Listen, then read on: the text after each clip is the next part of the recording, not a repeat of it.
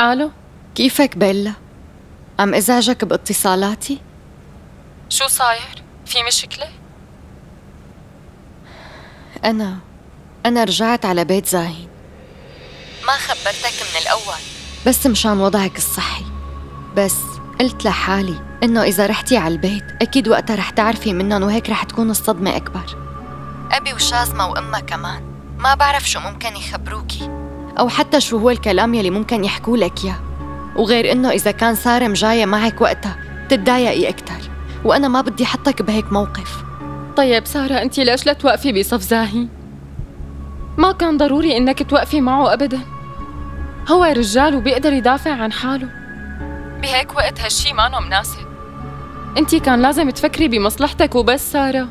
أبي وقتها اتهمني إني أنا يلي دفعت له الكفالة لزاهين وكان معاه حق إيه بس كمان قال إنه أنا متعاملة مع فرحان.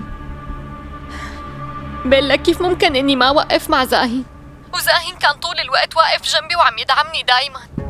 تعرفي بسببي خسر شغله للمرة الثانية وهلأ بدك يعني إني أنا ما وقف معه؟ معقول؟ كون أنانية كل هالقد؟ وأنا بعرف بيلا إني ما فيني ساعد زاهين بأي طريقة. بس لما أنا أكون واقفة معه على الأقل بكون عم ورجيه إني واقفة جنبه. لا تنسي إنه صارت معه كتير مشاكل بسببي. وصار دوري إني أكون جنبه وبكل مشاكله كمان. على كل حال أنا اتصلت فيكي بس لخبرك. تتركيني لحالي بهالفترة الجاية. شو؟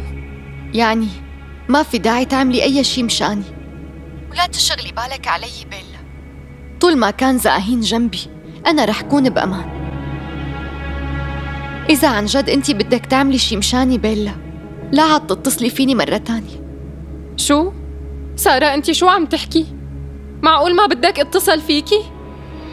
تمام هذا يلي بدي إياه إنه بيلا ما عاد تتصل فيكي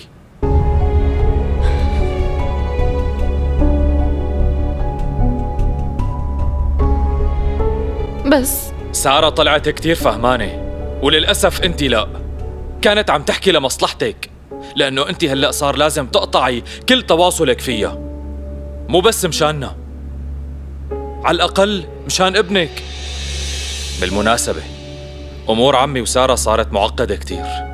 وبهالحالة أنت صار لازم تبعدي عن كل مشاكلهم. وحتى ما لازم بقى تروحي على بيت أبوكي. ما بدي تخاطري نهائياً. رجاء بيلا. حاولي تفهمي يلي أنا قلته. بترجاكي.